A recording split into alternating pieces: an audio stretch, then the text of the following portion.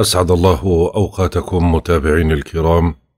أسأل الله أن تكونوا بخير أنتم وأحبابكم ومن حولكم. طبعا اليوم توقعاتنا ليوم الأربعاء 26 اثنين. القمر ما زال لآخر ساعات موجود في الحوت. إحنا الآن في فترة خلو مسار مستمرة هي من الساعة 2 و11 دقيقة عصرا بتوقيت غرينتش. وراح تستمر لغاية الساعة ستة وستة وأربعين دقيقة بتوقيت غرينتش مساء. يعني تقريبا بتوقيت الأردن الساعة ثمانية وستة وأربعين دقيقة. وهذا بيعني أنه الفترة هاي لغاية ما ينتهي خلو المسار فترة منتحسة.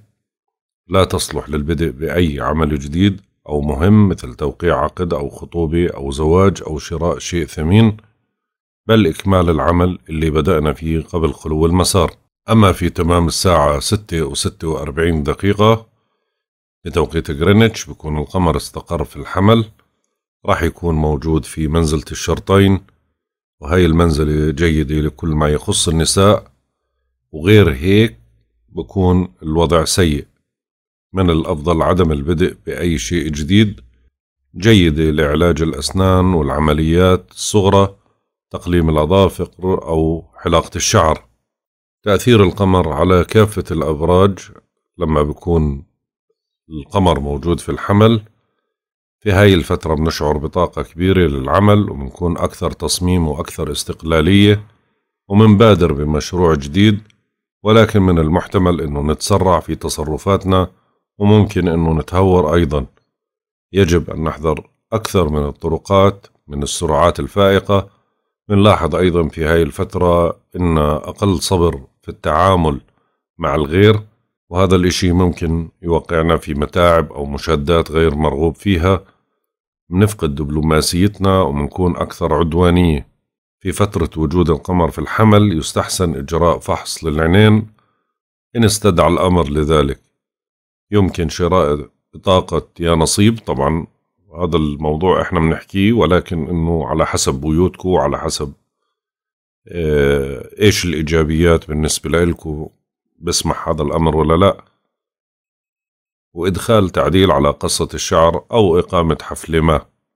أما بالنسبة للزوايا الفلكية اللي راح تتشكل خلال هذا اليوم تقريبا هي كل الزوايا راح تتشكل في خلال فترة الليل أو فترة الفجر تقريبا. وبالنسبة للزوايا أي اتصال ما بين أي كوكب مع القمر مدة الزاوية عادة بتتراوح ما بين ست ساعات لغاية يعني ما 12 ساعة كأقصى حد. أما الزوايا البطيئة اللي هي بتكون بين الكواكب الكبيرة وعادة إحنا يعني بحكي أنا قديش بتقعد بس. أي زاوية مع القمر معروف إنها بتقعد من ست ساعات ل 12 ساعة. أول زاوية راح تكون من الزوايا البطيئة هي زاوية اقتران إيجابية راح تكون بين الشمس وعطارد. راح تكون هاي الزاوية تقريبا في ساعة الوحدة وأربعة وأربعين دقيقة فجرا بتوقيت غرينتش. وهاي الزاوية عادة تقعد تقريبا بحدود الأربع أيام. عند حدوث هذا الاتصال تتعزز قدرتنا الفكرية وبتسهل علينا أو بيسهل علينا فهم مواضيع علمية صعبة كان يتعذر علينا فهمها بالسابق بيزداد التوجه لإجراء الاتصالات والتنقلات أو السفريات الضرورية. أما بالنسبة للزاوية التي تليها برضو هي زاوية من الزوايا البطيئة زاوية إيجابية هي زاوية تسديس إيجابية بين عطارد والمريخ. وهاي راح تكون في تمام الساعة خمسة وثمانية وخمسين دقيقة صباحا بتوقيت غرينتش. عند حدوث هذا الاتصال عادة بسود شو شعور عام بالوئام بيسهل علينا التفاهم مع الآخرين وبتعزز العلاقات مع الأحباء. أما بالنسبة للزاوية التي تليها وهي زاوية سلبية راح تكون زاوية تربيع سلبية بين القمر والمريخ في تمام الساعة 8 و 32 دقيقة صباحا بتوقيت غرينتش. هاي بيحقق البعض تقدم على حساب الآخرين يعني نوع من الاستغلال. موظف مثلا بيستغل زميله وبروح اللي هو مقدم شيء قبل زميله عشان يطلع على آه، كتافه زي ما بيحكوها. اللي هم أكثر أكثر اللي مستفيدين منها اللي هم المتسلقين. القمر طبعا رح لما بيكون موجود في الحمل خلو المسار القادم بيكون يوم 28 اثنين راح يكون في تمام الساعة ثلاثة وخمسة وعشرين دقيقة صباحا بتوقيت غرينتش وراح يستمر لغاية الساعة سبعة وتسعة وعشرين دقيقة صباحا بتوقيت غرينتش. بعدها بنتقل القمر للثور. عمر القمر القمر الآن مرحلة الهلال. عمره ثلاث أيام في تمام الساعة خمسة وواحد وخمسين دقيقة صباحا بتوقيت غرينتش بيصير عمره أربع أيام. نسبة الإضاءة 12% أما بالنسبة لمزاج الكواكب وطباعها خلال هذا اليوم الشمس في الحوت حتى 20 ثلاثة مزاجها سعيد. القمر في الحمل حتى 28 اثنين مزاج سعيد. عطارد في الحوت بيتراجع حتى يوم أربعة يوم ثلاثة أربعة وبعدين بيرجع للدلو مزاجه منتحس الزهرة في الحمل حتى يوم خمسة ثلاثة المزاج سعيد المريخ في الجدي حتى يوم ثلاثين أربعة مزاجه سعيد المشتري في الجدي حتى أربعة عشر خمسة وبعدين بيبدأ في عملية التراجع مزاجه سعيد زحل في الجدي حتى يوم اثنين وعشرين ثلاثة مزاجه سعيد. أورانوس في الثور حتى 15 ثمانية بعدين بيبدأ عملية التراجع مزاجه سعيد. نبتون في الحوت حتى 23 ستة وبعدين بيبدأ عملية التراجع مزاجه سعيد.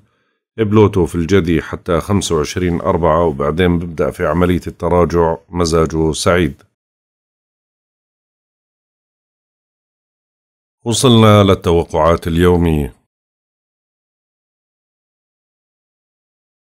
برج الحمل. بتسيطروا على زمام الأمور وبتنجحوا في الدفع بمصالحكم. حان الوقت لحسم الأمور العالقة. تسمع جواب كنت تنتظره.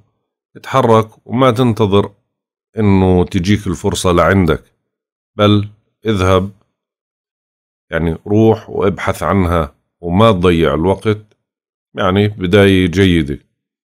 هيك القمر بحكي لك. خلينا نشوف خارطتك الفلكية إيش بتحكي لك.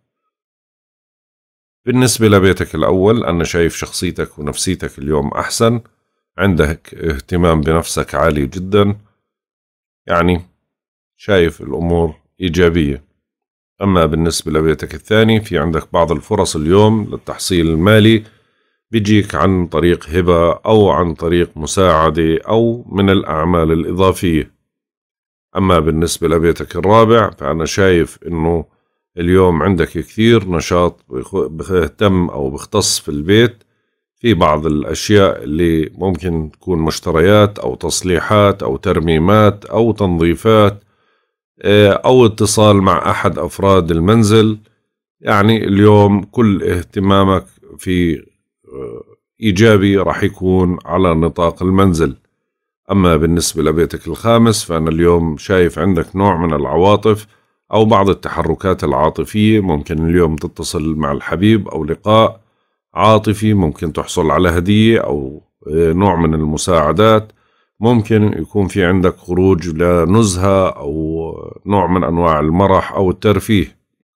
أما بالنسبة لبيتك السابع فأنا شايف الوضع إيجابي بالنسبة لتعاملك مع الشركاء شركاء المال أو العاطفة.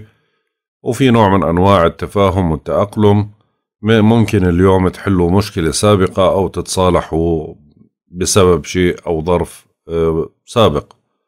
أما بالنسبة لبيتك الثامن فأنا شايف اليوم في عندك كثير من النشاطات اللي إلها علاقة بالدوائر الحكومية أو الأمور اللي إلها علاقة البنكية أو الضريبية أو التأمين.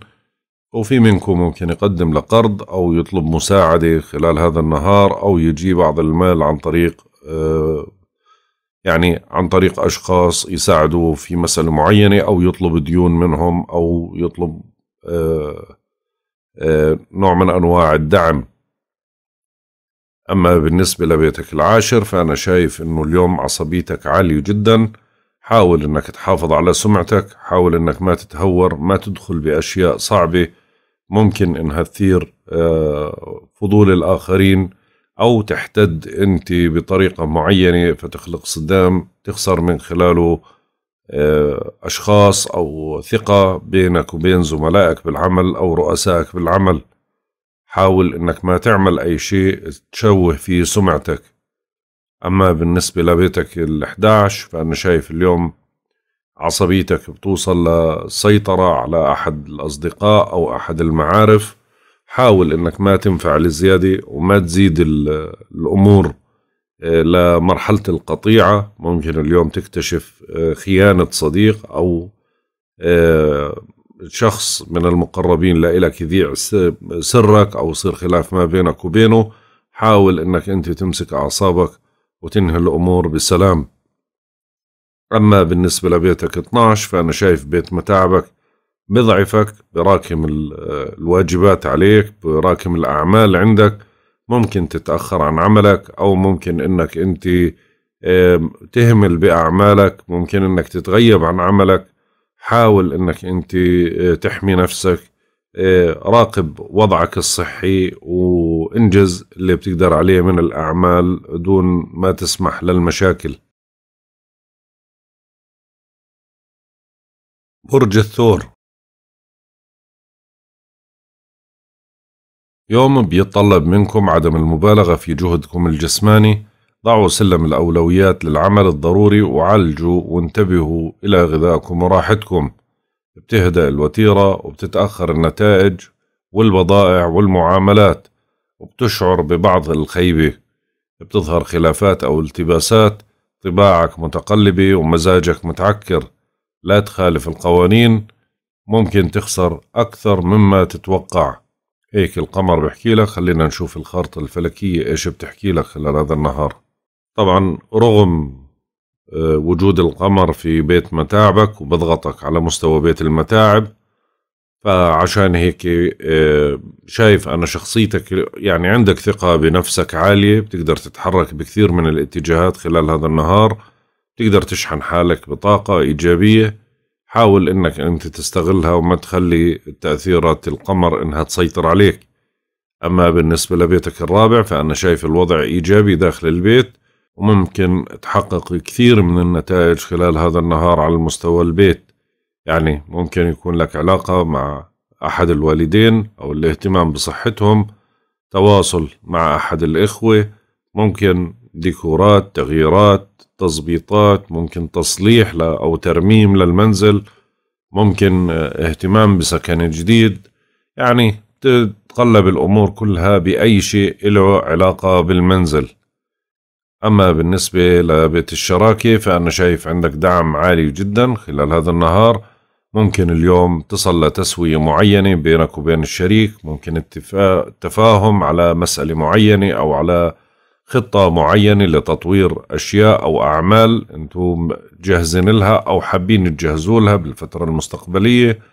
يعني الفترة هاي ممتازة ممكن يجيك آه، يعني توقيع عقد أو مشروع جديد. حاول إنك تأجله لحديت ما يوصل القمر لعندك بتكون الفترة أفضل. أما بالنسبة لبيتك الثامن فأنا شايف اليوم في عندك نشاط كثير باتجاه البنوك أو القروض أو ديون أو سداد الديون أو استلاف المال أو مساعدات ممكن تجيك نوع من أنواع الدعم. يعني حاول إنك أنت تستغلها بالشكل الإيجابي وقلل من المصاريف قدر الإمكان. أما بالنسبة لبيتك العاشر فأنا شايف إنه عصبيتك اليوم في أوجها. لا تنفعل ولا تعصب حاول ما تدخل بخلافات مع زملائك بالعمل ولا رؤسائك بالعمل. الفترة هاي صعبة ممكن إنها تسبب لك بعض الإحراج. هذا بيت سمعتك فحاول إنك ما تعمل أي شيء يشوه سمعتك في خلال الفترة القادمة. أما بالنسبة لبيتك 11 فأنا شايف إنه اليوم ممكن يتوجه لك دعوة أو يكون في لقاء لأصدقاء أو مساعدة من صديق ممكن يساعدك في مسألة معينة أو ينشلك من خطر معين. فالفترة إيجابية حاول إنك تتواصل مع أصدقائك أو مع أحد معارفك لحل مشكلة ما. أما بالنسبة لبيت متاعبك فهو بضغطك بنفس توقعات القمر. يعني حاول قدر الإمكان أنك أنت تراقب صحتك وتراقب غذائك. انتبه لحالك. حاول أنك تنجز الأعمال الضرورية. حاول أنك تخلد للراحة من فترة لأخرى. يعني ما تبذل آه، جهد زيادة جسماني فهذا الإشي ممكن يضعفك ويضعف طاقتك. برج الجوزاء. بتنشطوا اجتماعيا وبتلتقوا الأصدقاء.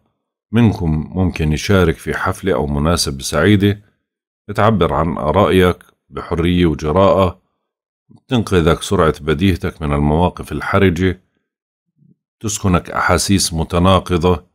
لكنها فترة مناسبة للتحالف لمد يد العون للزملاء. هيك القمر بحكي لك خلينا نشوف الخارطة الفلكية إيش بتحكي لك. يعني اللي أنا شايفه إنه شخصيتك اليوم حلوة نفسيتك أحلى تقدر تتحرك بجميع الاتجاهات بشكل إيجابي عندك طاقة حلوة كثير. ممكن تهتم بنفسك أو بهندامك. مشحون بطاقة إيجابية.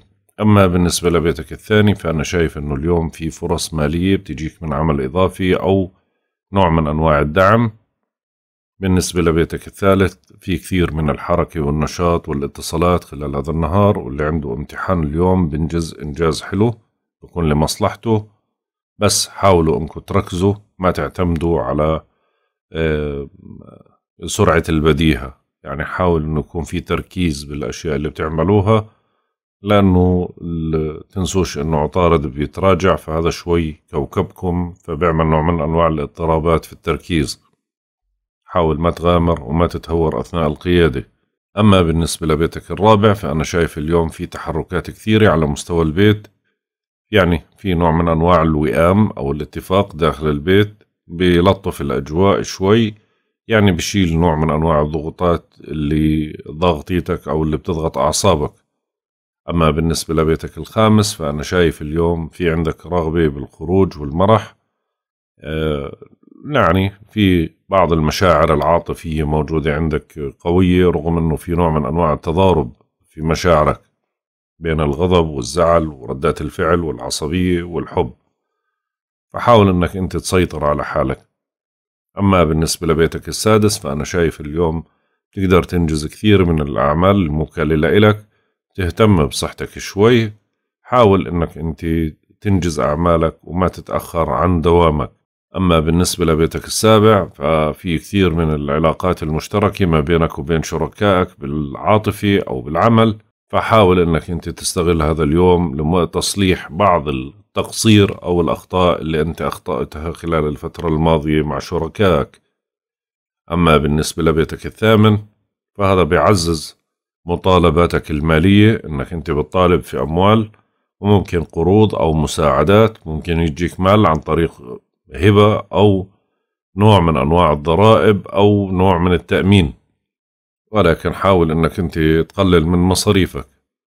أما بالنسبة لبيتك التاسع فأنا شايف اليوم آه، يعني خطر هذا البيت فاللي عنده امتحان يدرس ويركز مزبوط ما يحاول يعمل صدامات أو خلافات في في الجامعة يحاول إنه ينتبه ما يتهورش أثناء القيادة آه، إذا عنده سفر يحاول يروح في موعد الطيارة ما يتأخرش أو ممكن ينسى بعض أغراضه. أثناء السفر وأثناء تعاملك مع أشخاص مقيمين خارج البلاد حاول أنك أنت تكون ماسك عصبيتك وما ما تندفعش على أساس أنه ما يصيرش في قطيعة.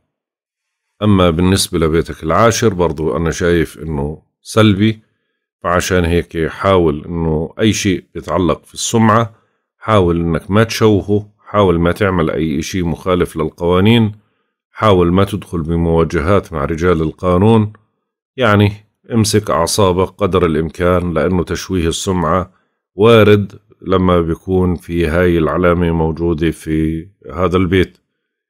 أما بالنسبة لبيتك 11 فإذا اليوم صار في عندك نشاط اجتماعي بينك وبين الأصدقاء أو كان في دعوة لو حفلة أو مناسبة ما تأخذ على بالك وما تتحسس من أي موقف ما تعصب ما تأخذ آه، ردة فعل سلبية. ممكن من خلال ردات فعلك تخسر صديق خلال هذا النهار أو تدخل بمواجهة مع أحد المعارف. فحاول أنك تمسك أعصابك قدر الإمكان. الوقت مش مناسب للصدامات. أما بالنسبة لبيت متاعبك فأنا شايف إنه شوي بضغط على صحتك. بيعمل لك نوع من الإرهاق. ممكن شوي يخليك تتأخر عن أعمالك بيعكر من مزاجك. أهم إشي إنه زي ما حكينا ما تخالف القوانين وما تغامر وما تتهور خلال هذا اليوم. وحاول إنك أنت تكون في دوامك في الوقت المناسب ما تتأخر وما تتغيب عشان ما يصير عندك مشاكل. وانتبه لصحتك. برج السرطان. بتظل الفرصة متاحة لمن يبحث عن عمل ومن يعمل ينجح في إثبات جدارته للمسؤولين وبيحافظ على إنجازاته القائمة. برر كلامك ووضحه بشكل جيد. كون جاهز للقيام بزيارة طارئة أو باتصال بأحدهم. بتكون الظروف داعمة لأفكارك بتهتم لبعض الاتصالات والمشورات. لا تكون مهمل ولا تترك انطباعات سلبية. هيك القمر بحكي لك. خلينا نشوف الخارطة الفلكية إيش بتحكي لك. بالنسبة لبيتك الأول يعني بدعمك بالنشاط والاهتمام بالنفس الثقة بالنفس آه، بشكل جيد. يعني البيت الأول إيجابي والبيت الثاني برضو إيجابي بدعمك على مستوى المال. ممكن تحصل على مال من عمل إضافي أو نوع من الدعم أو الهبات ولكن حاول أنك تقلل من المصاريف. أما بالنسبة لبيتك الثالث فاليوم عندك كثير من الاتصالات والتحركات. عندك نشاط عارم ممكن تتنقل بأكثر من اتجاه مع بعض. عندك عدة مسؤوليات اليوم بتحاول أنك أنت تنجزها. أهم إشي أنك أنت ما تتهور وما تفقد تركيزك. ممكن يصير في نوع من الوفاق ما بينك وبين أحد الإخوة أو المساعدة بينك وبين أحد الإخوة أو الجيران. أما بالنسبة لبيتك الرابع فأنا شايف إنه في اهتمام على مستوى البيت علاقاتك بأهل البيت ممكن نوع من الاجتماع العائلي أو الأسري أو بعض الواجبات العائلية خلال هذا النهار أو اهتمام بصحة أحد المقربين لإلك. أما بالنسبة لبيتك الخامس فأنا شايف الأمور العاطفية يعني على طبيعتها لا إيجابية ولا سلبية. أما بالنسبة لبيتك السادس فأنا شايف أنه اليوم راح تهتم بصحتك زيادة راح يكون في عندك رغبة للاهتمام ببعض الأعمال الموكلة لإلك. تقدر تنجز كثير من الأعمال خلال هذا النهار. أما على مستوى الشراكة فحاول أنك ما تضغط الشريك حاول ما تتسبب له بإحراج. حاول أنك أنت ما تكون عصبي وما توصل لمرحلة آه، الخلاف ما بينك وبين شريكك بالمال أو بالعاطفة. أما بالنسبة لبيتك الثامن فأنا شايف أنه الأمور باتجاه صرف فلوس بشكل كبير ممكن اليوم تتعرض لمطالبة مالية أو لضيقة مالية معينة. حاول قدر الإمكان أنك ما تصرف بالاتجاه الخطأ وركز مزبوط على أعمالك وعلاقاتك خصوصا على مستوى الدوائر الحكومية. أما بالنسبة لبيتك التاسع اللي عنده سفر أو عنده امتحان خلال هذا النهار بيكون نشيط أموره بتمشي بالاتجاه الصحيح. حتى لو كان عنده آه، يعني خطة للاتصال بأشخاص خارج البلاد اليوم راح يكون إيجابي وراح يكون لمصلحتك. أما بالنسبة لبيتك العاشر فأنا شايف أنه يعني الفرصة ماشي فيها نوع من أنواع الفرص للتعامل بالعمل ولكن حدية طباعك أو انتحاسة البيت هذا شوي ممكن تخلي في نوع من أنواع المواجهة مع زملائك بالعمل أو رؤسائك بالعمل. حاول إنك تمسك أعصابك. وفي نفس اللحظة ما تخلي الأعمال تتراكم عندك وما تشوه سمعتك بأي تصرف خلال هذا النهار بدك تكون حذر. أما بالنسبة لبيتك 11 فأنا شايف اليوم ممكن يتوجه لك دعوة لحضور حفلة أو مناسبة أو زيارة طارئة أو واجبات اجتماعية أو مساعدة من صديق لإلك أو طلب المشورة في مسألة معينة. البيت هذا إيجابي جدا وبدعمك بشكل قوي جدا. أما بالنسبة لبيتك 12 فدير بالك إنك تنضغط زيادة وتأجل أعمال أو تكون الأعمال مرهقة لإلك فأنت تتركها وتهمل فيها. هذا الإشي راح يسبب لك بعض المشاكل. حاول تنجز الأعمال الموكلة لإلك وتراقب صحتك. يعني أهم نقطتين هدولا وما تستهتر وما تستهين بالأحداث اللي بتصير حواليك. برج الأسد. بتنشطوا في السفر والاتصالات البعيدة يوم مناسب لاجتياز امتحان أو إجراء مقابلة أو إظهار تعاون أكبر مع الآخرين أو الجهات المسؤولة. بتكون الظروف مناسبة لبحث مواضيع جديدة ولاختبار تجارب مختلفة. تشعر بالاعتزاز والفخر لا تستسلم ولا ترضخ للشروط خصوصا إذا ما بتناسبك. أهم شيء إنك تناقش بمنطق. هيك القمر بحكي لك خلينا نشوف الخارطة الفلكية إيش بتحكي لك. بالنسبة لبيتك الأول أنا شايف إنه اليوم شخصيتك أحسن. عندك نوع من النشاط والحيوية اهتمام بنفسك أكثر. يعني يوم إيجابي. أما بالنسبة لبيتك الثالث فأنا شايف إنه اليوم عندك كثير من الاتصالات والتحركات. ممكن يكون عندك امتحان أو يكون عندك مقابلة أو نقاش معين. اليوم أنت متصدر عندك قدرة الإقناع بشكل واضح وممكن يصير في نوع من أنواع النقاش أو التعامل ما بينك وبين أخ أو بين جار. أما بالنسبة لبيتك الرابع يعني الأمور المنزلية بترتفع وتيرتها بصير اهتمامك بالمنزل أو بأحد أفراد المنزل ممكن اهتمام بوالدك تحديدا بالوالد. إما بمسألة صحية أو بمسألة قانونية أو مسألة عائلية. في كثير أمور إلها علاقة بالبيت ممكن ترميمات أو تصليحات أو شراء أشياء أو أغراض للبيت أو بعض الصيانة المفروضة عليك. أما بالنسبة لبيتك الخامس فأنا شايف أنه العواطف عندك آه، بقوة موجودة عندك إحساس عاطفي عالي جدا. حابب أنك اليوم تتواصل مع الحبيب بطريقة مختلفة ولكن حاول أنك أنت ما تدخل في نزوات يعني شوي تضغط على سمعتك. أما بالنسبة لبيتك السادس فأنا شايف أنه اليوم تقدر تنجز كثير من الأعمال عندك اهتمام بصحتك أو بصحة أحد المقربين لإلك. أما بالنسبة لبيتك السابع فأنا شايف أنه الأمور إيجابية مع الشريك تقدر تتواصل معاه وتتعامل معاه بلطف ولين وتنجز كثير من الأعمال أو تحطوا خطة مستقبلية لحل مشكلة معينة أو للتعاون على حل مشكلة معينة.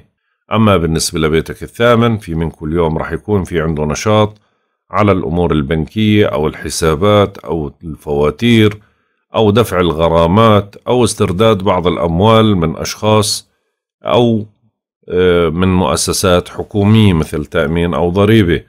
وفي منكم راح يحصل على أموال من أشخاص كنوع من أنواع الدعم.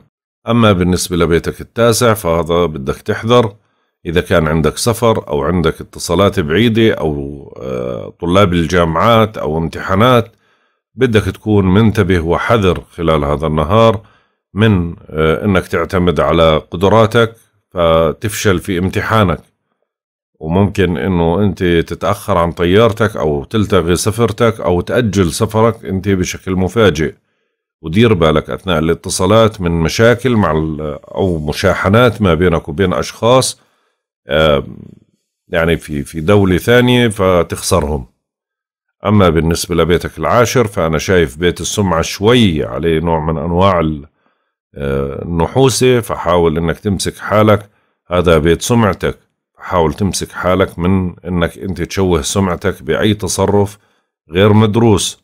حاول تنجز أعمالك الموكله لك تفاهم بطريقة مناسبة مع زملائك بالعمل ورؤسائك بالعمل بدون مشاحنات.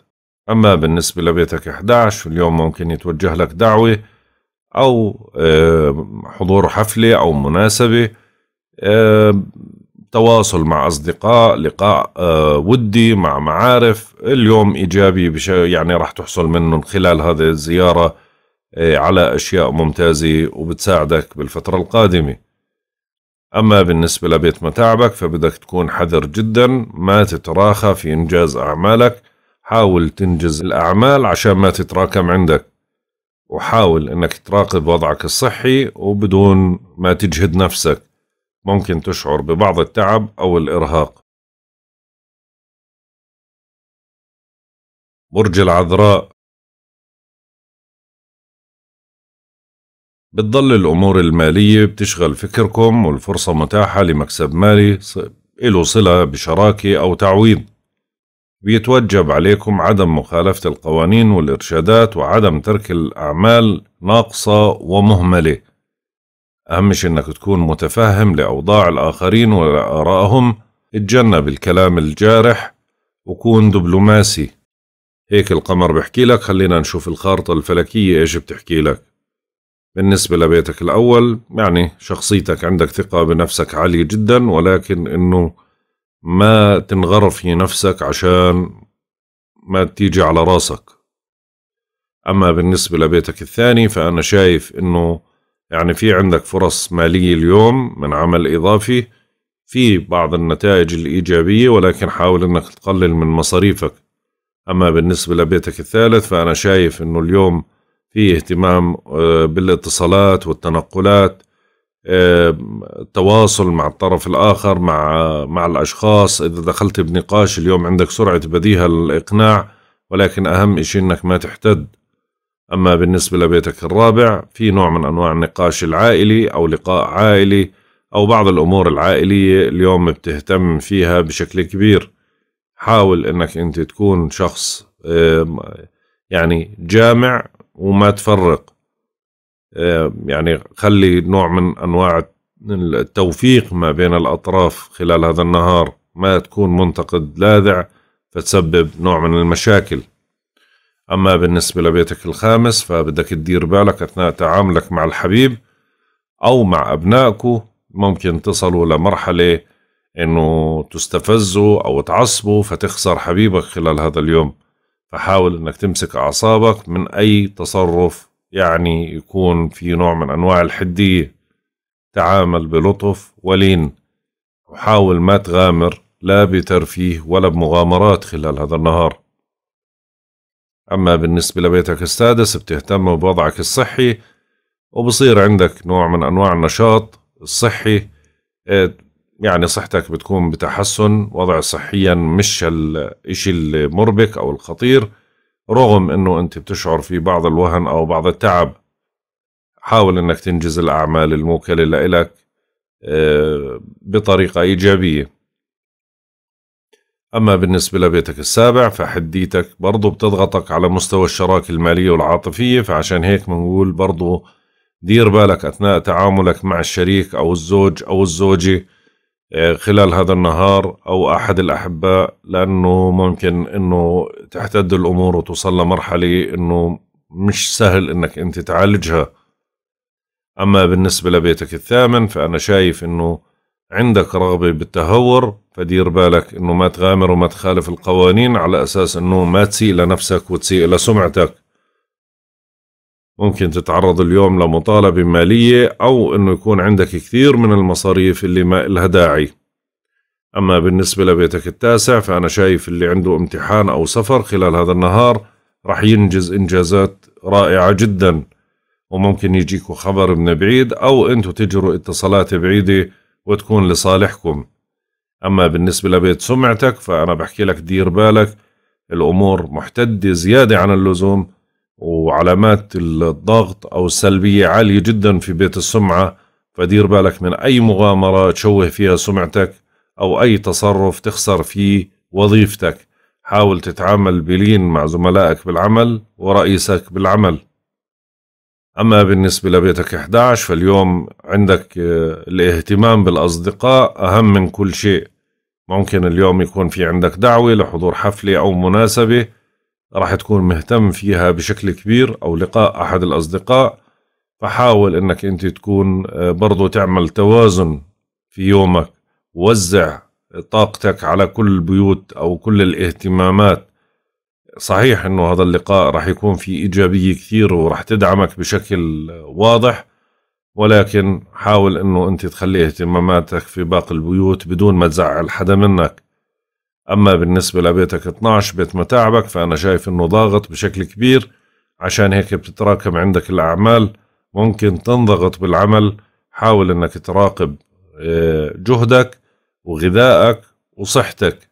وما تدخل بمواجهات أو بعصبيات أنت بغنى عنها بالفترة هاي. هذا بيت متاعبك بسبب لك خلافات آه، بطريقة أنت ما بتتوقعها.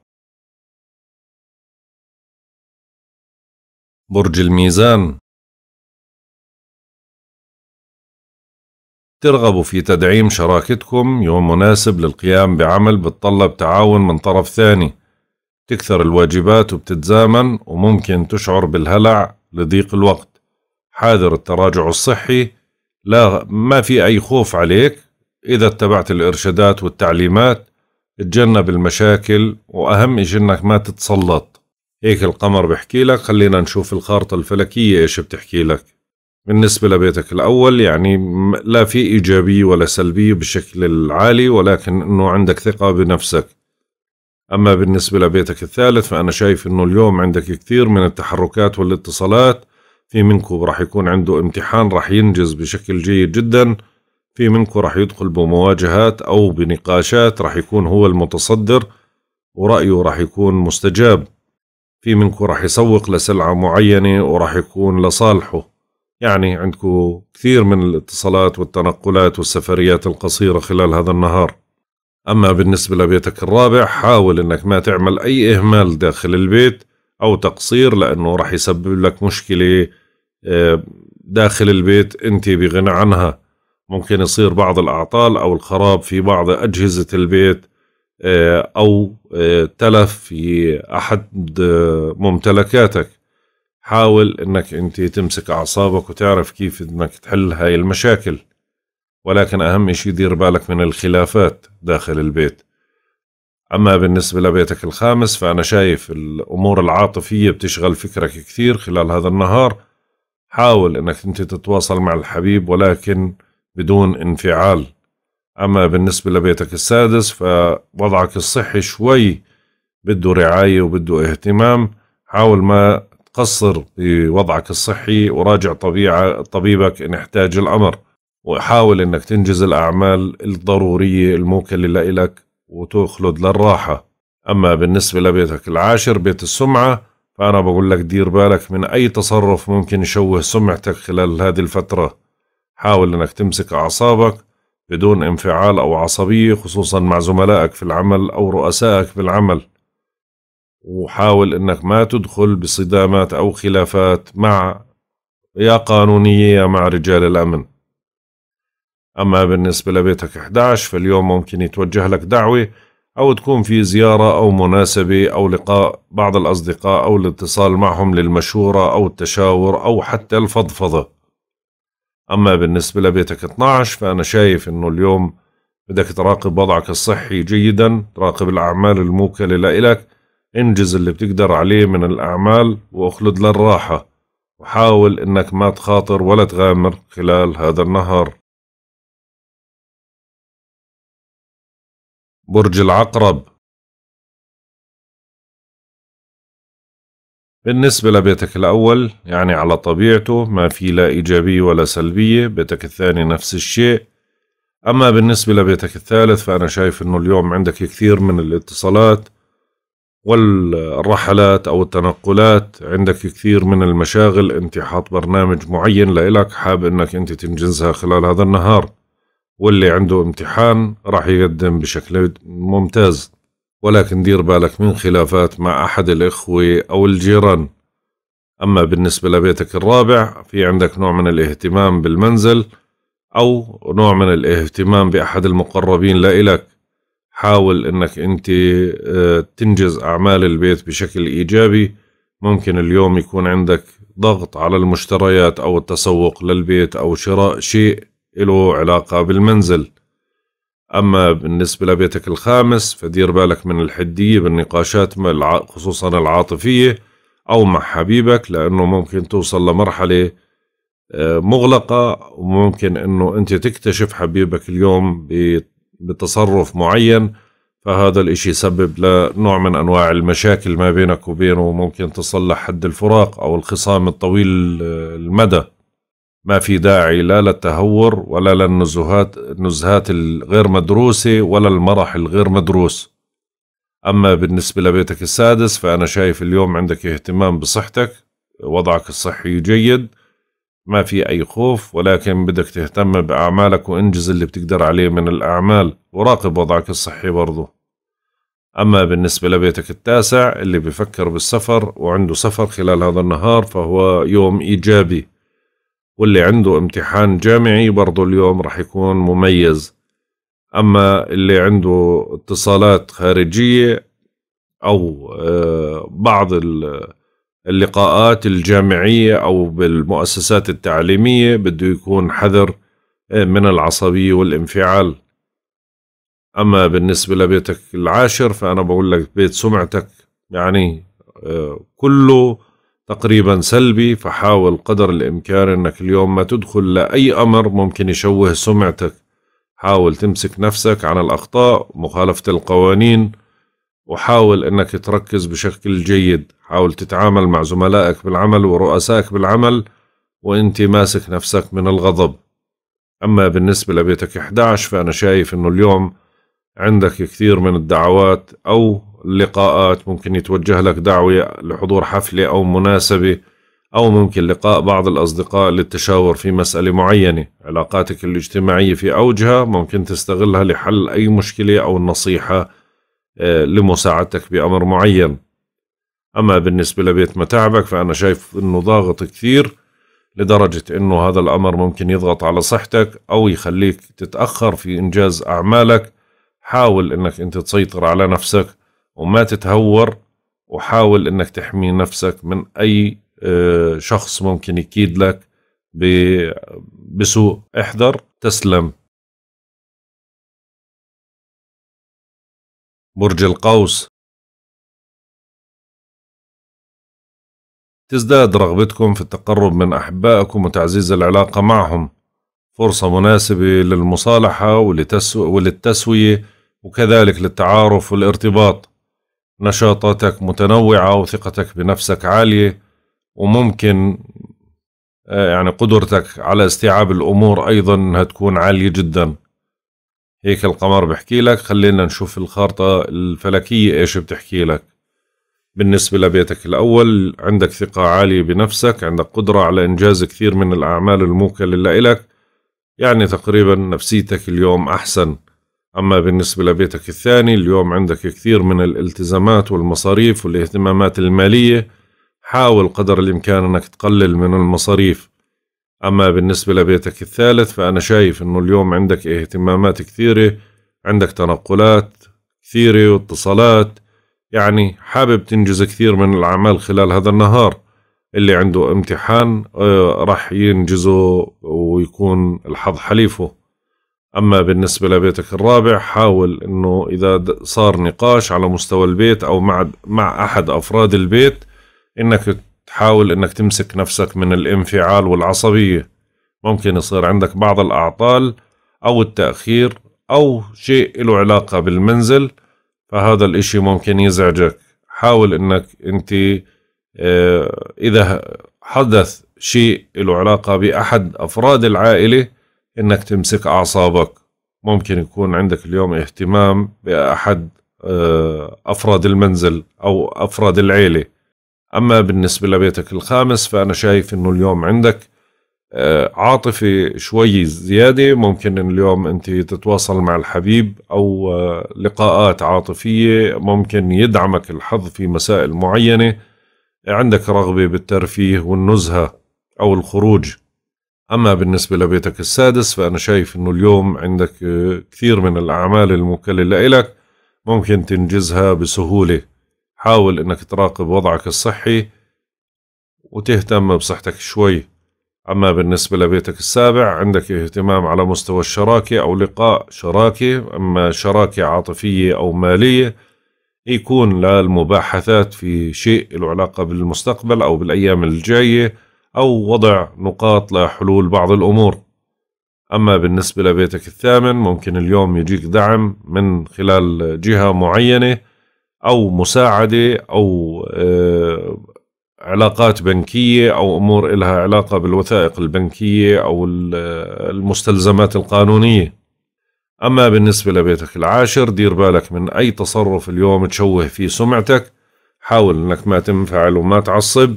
امسك أعصابك قدر الإمكان. حاول أنك ما تحتد أثناء أو تدخل بخلافات ما بينك وبين زملائك بالعمل أو رؤسائك بالعمل.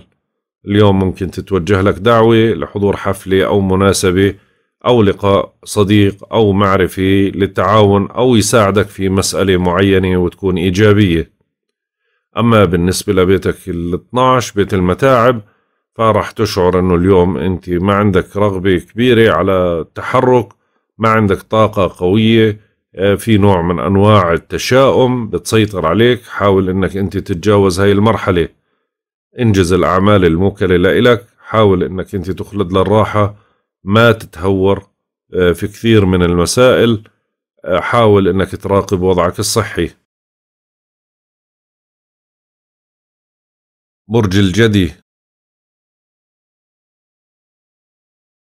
بترغبوا في إدخال تعديل على مساكنكم والتفاهم مع أفراد العائلة. بتحتاج المسائل الخاصة والعائلية إلى مناقشة. تظهر الضغوط والمتاعب والمعاكسات. تضطر لمحاسبة وربما لتح... لتحديات أو استفزازات. تتعرض لمحاسبة وربما لتحديات واستفزازات. هيك القمر بحكي لك. خلينا نشوف الخارطة الفلكية. إيش بتحكي لك؟ بالنسبة لبيتك الأول أنا شايف إنه الأمور ضاغطة على الوضع النفسي شوي نفسيتك مش مرتاحة فاقد الثقة بنفسك يعني تتقلب ما بين عندك ثقة وما بين ما عندك ثقة بنفسك في نوع من أنواع التقلب اليوم في مجال الشخصية. أما بالنسبة لبيتك الثاني فأنا شايف اليوم في كثير من الأمور اللي لها علاقة بالدعم أو الأمور المالية. ممكن يجيك عمل أموال من عمل إضافي أو مساعدة ولكن حاول أنك تقلل من المصاريف قدر الإمكان. ممكن تحصل على هدية.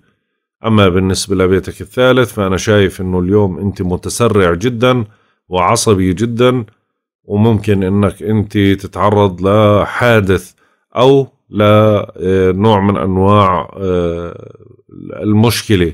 حاول تمسك أعصابك وركز أثناء القيادة ما في داعي للتهور. ممكن يصير في عندك عطل يا بسيارتك يا في جهازك الخليوي.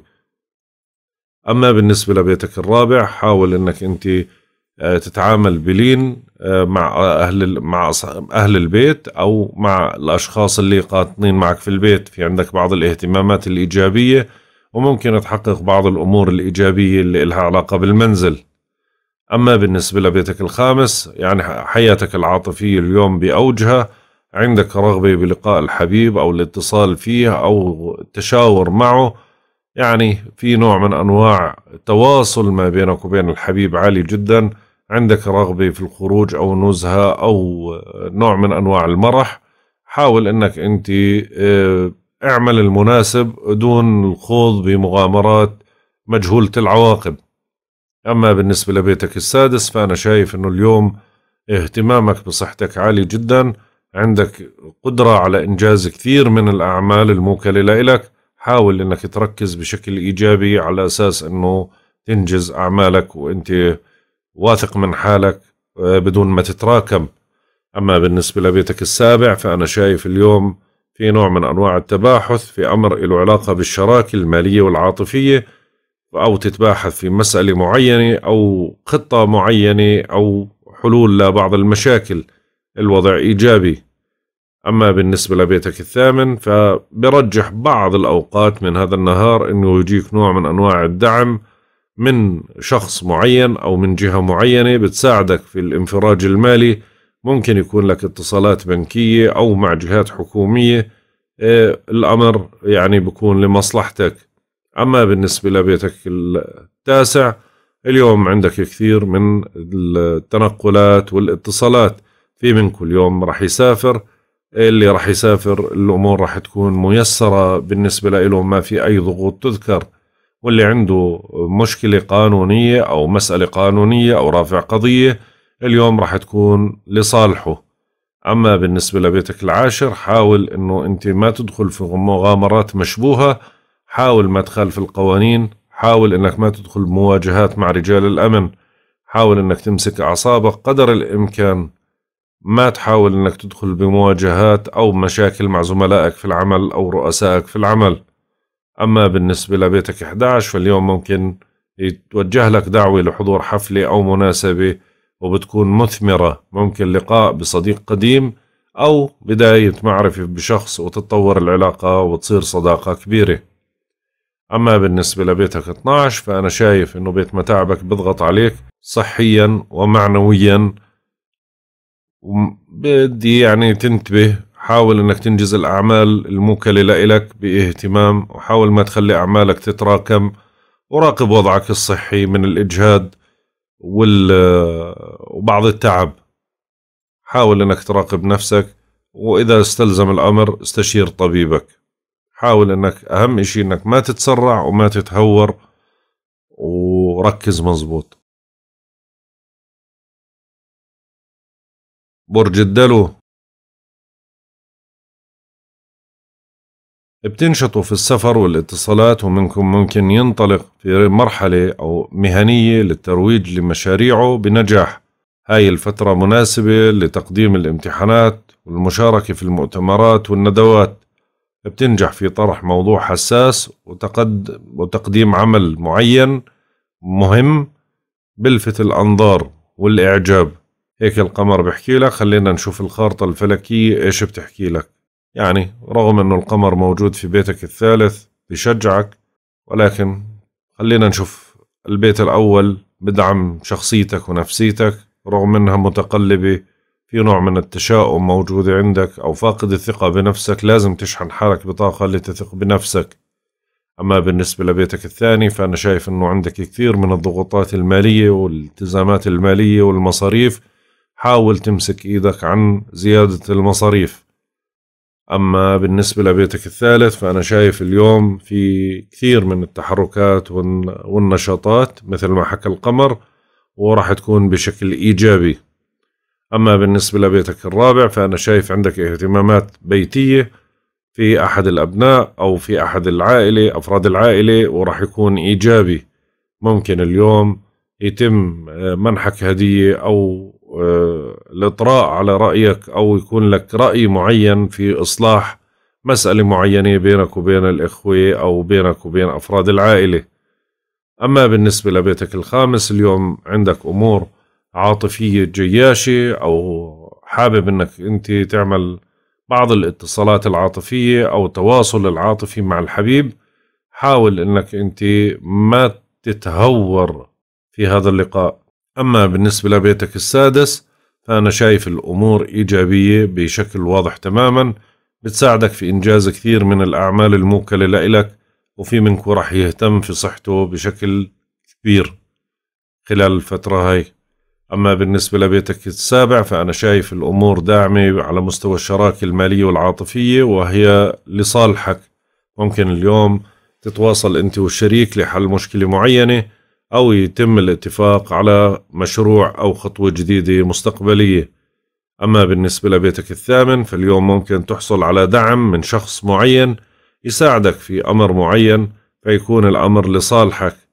ممكن يكون في عند بعض الأشخاص اليوم مواعيد بنكية أو طلب قروض أو مساعدات برضو راح تساعدهم بشكل إيجابي. أما بالنسبة لبيتك التاسع اللي عنده امتحان جامعي اليوم راح ينجز فيه ويبدع. في منكم ممكن يدخل اليوم آه، آه، مثلا عنده سفر ما راح يكون لصالحه واللي اليوم بده يعمل اتصالات خارجية أو مع جهة تعليمية فراح يكون الأمر لصالحه. أما بالنسبة لبيتك العاشر اليوم يعني بدنا نقول إنه بيت السمعة شوية ما في هالتحذيرات الكثيرة ولكن برضو بقول لك انتبه في نوع من أنواع التواصل ما بينك وبين زملائك بالعمل أو رؤسائك بالعمل بتحاول أنك توصل لتسوية معينة أو حل مشكلة أو خلاف معين خلال هذا النهار.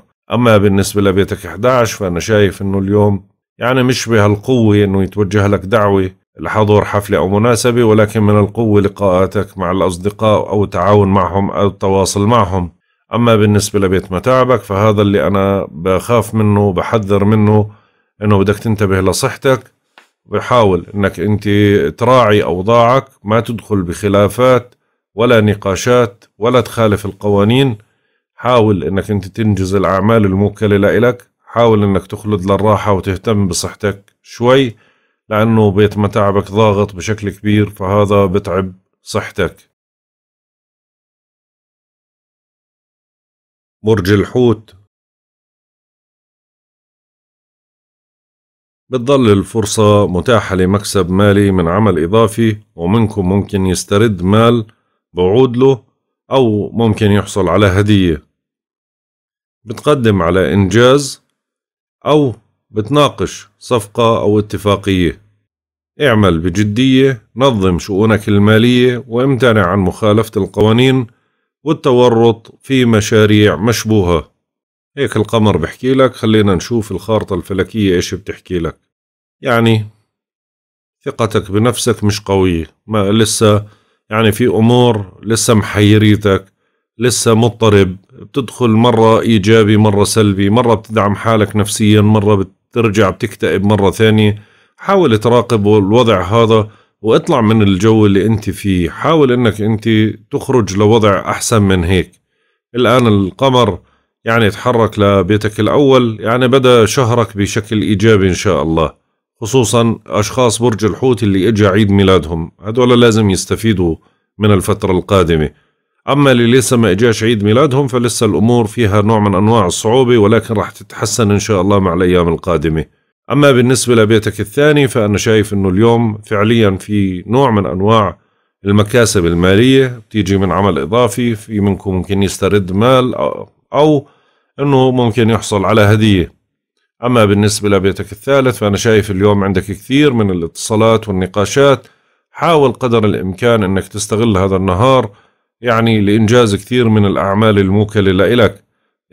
يعني اتصالاتك ونقاشاتك ترويجك لسلعة معينة. أنت اللي عندك القدرة على إيصال المعلومة وإقناع الغير بوجهة نظرك. أما بالنسبة لبيتك الرابع عندك بعض الاهتمامات المنزلية أو العائلية.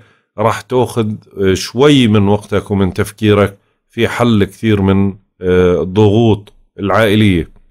وضعك العاطفي ما في أي لا, لا إيجابية ولا سلبية على طبيعته على حسب حياتك أنت. بالنسبة لبيتك السادس أنا شايف أنه اهتمامك بالصحة عالي جدا خلال هذا النهار. عندك قدرة على إنجاز كثير من الأعمال الموكلة لإلك. بالنسبة لبيتك السابع بتهتم اليوم بموضوع له علاقة بالشراكة المالية والعاطفية آه، بينك وبين شريكك عملي أو عاطفي في اهتمام نوع من التواصل ممكن تصلوا لحل لمشكلة سابقة أو لتطوير مشروع جديد أو ممكن تدخل أنت في مشروع جديد.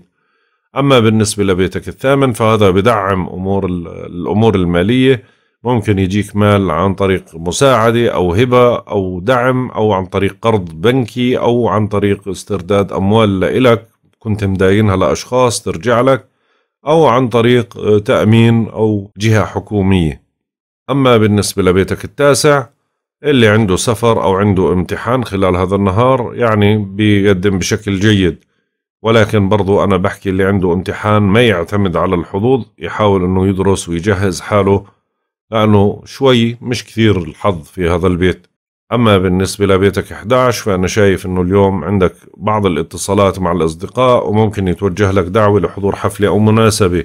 أما بالنسبة لبيتك 12 بيت متاعبك فهو ضاغط عليك بشكل كبير فعشان هيك حاول تنجز الأعمال اللي بتقدر عليها وراقب وضعك الصحي وحاول إنك تخلد للراحة. وحاول إنك ما تدخل في أي مجال في مخالفة للقوانين وما تورط حالك بمشاريع أو أشياء مشبوهة. هيك بنكون انتهينا من توقعاتنا لهذا اليوم. والله أعلم. يا رضا الله ورضا الوالدين. سبحانك اللهم وبحمدك. أشهد أن لا إله إلا أنت. أستغفرك وأتوب إليك. أترككم في رعاية الله وحفظه. إلى اللقاء.